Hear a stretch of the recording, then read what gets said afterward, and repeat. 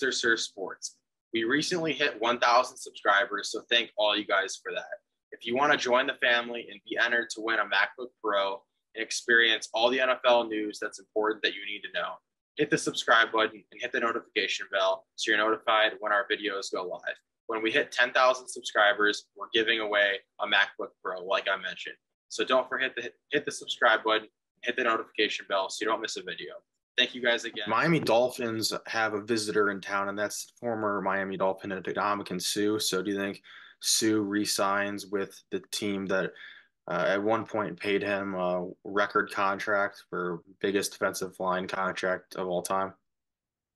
I don't know. It's a good question. I mean, the Dolphins, I would say that their weakness as of right now is defense. Although after watching them on Hard Knocks a little bit, you know they've showed showed a lot of guys that they have on defense that can play. Obviously, we know about Xavier Howard and Jalen Ramsey, but guys like Van Ginkel, um, Bradley Chubb, also we know about.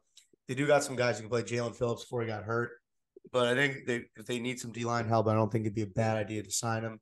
Obviously, he's a he's a really good player, Super Bowl winner. So if they want another, if they want one of if he wants to join, if they want him to join forces with his Super Bowl winning teammate JPP, then why not? That that would wreak some havoc. So, do you think, as you've called him the dirtiest player at one point, you think he should go to South Florida?